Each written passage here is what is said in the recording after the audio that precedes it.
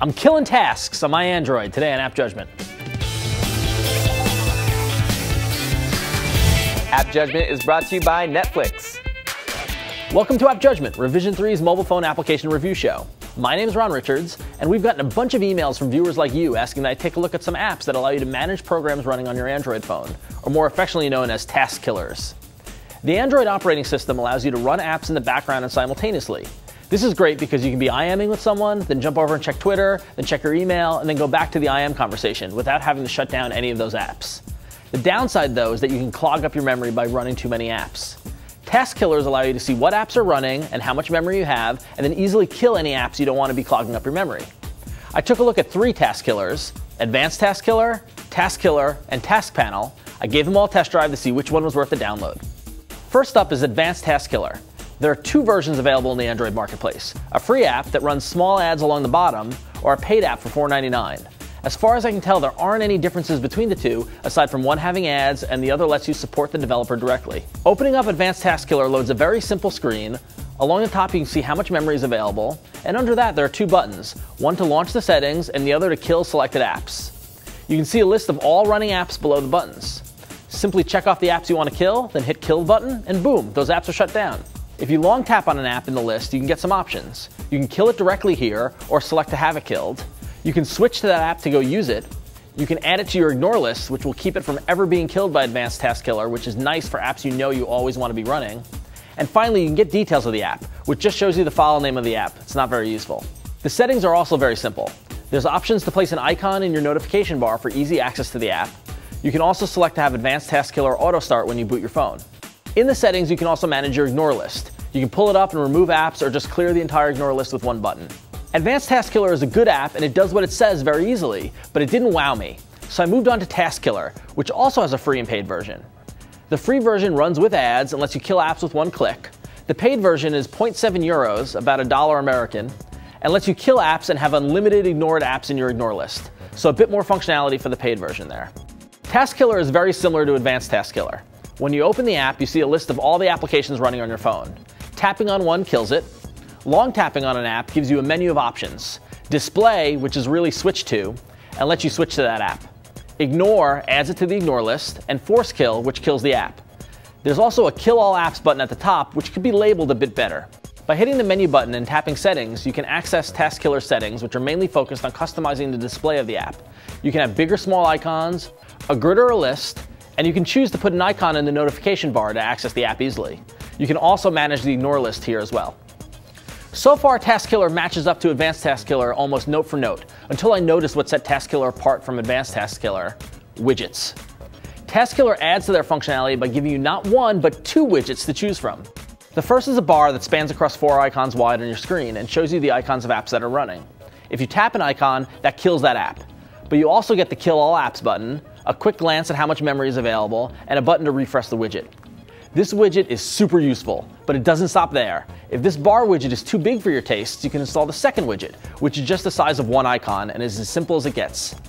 The widget shows you a number, and this is the number of apps running currently, as well as a color which represents how much memory you're using. As you use more memory, the icon gets more red.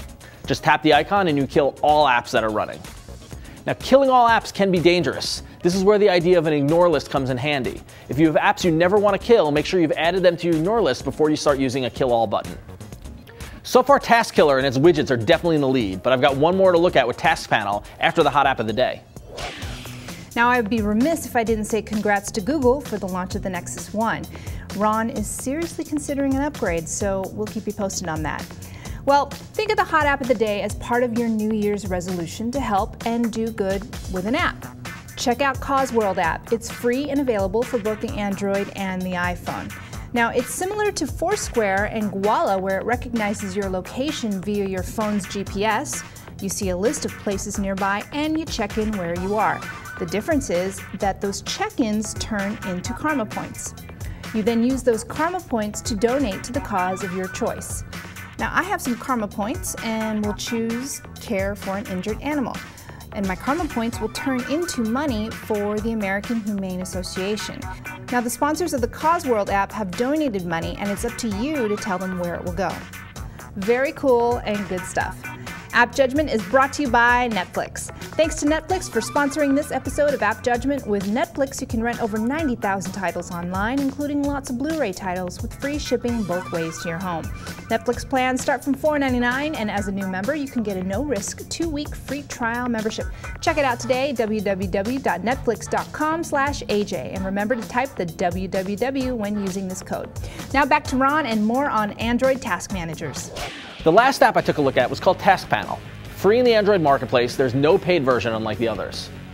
Opening Task Panel gives a screen that has a bit more information than the other apps. There's a health assessment for your phone, along with the available memory along the top. Then a list of icons, one to return to your home screen, a kill all button, and then an icon for each app that's running. Tap an app and it's killed. Long tap it, and again, you get a menu of options. You can launch it, you can add it to the ignore list, and there's a new option here to add it to the auto kill list. The auto kill list is something unique to Task Panel. It's a list of apps that you want to automatically kill once you turn your phone screen off or your phone goes to sleep. A nice feature that I never would have thought of before using Task Panel. Task Panel also has a widget that takes up the same width as the Task Killer bar widget, but is way less useful. You get a rundown of your health status and the available memory, and by tapping on the widget, it launches the Task Panel app. Way over on the right side is the word kill, which kills all running apps that aren't on your ignore list. All in all, it seems like a lot of space used for little functionality. So there you have it, three apps that all pretty much do the same thing with a few differences here and there. So let's break it down. Advanced Task Killer is a simple app, does what it says it will, and is easy to use. There's a free version that doesn't limit the functionality, and unfortunately it doesn't have any widgets, and the paid version is a bit pricey compared to the others. Task Killer's paid version is cheaper than Advanced Task Killer, and it's got two great widgets and some cool ways to customize the look and the feel of the app. But the Kill All Apps button isn't clearly labeled. Task Panel is the only totally free app of the bunch, and the app itself is the most refined in terms of UI. It also has a great feature in the auto kill list, but its widget fails big time as it takes up too much space and doesn't provide enough functionality to make it worthwhile. So what's my judgment? These apps are all really similar and all do what they say they'll do. If you're looking to save money, then I say download Task Panel, which will give you the most functionality for free. If widgets are your thing, then download Task Killer, as their widgets are tops.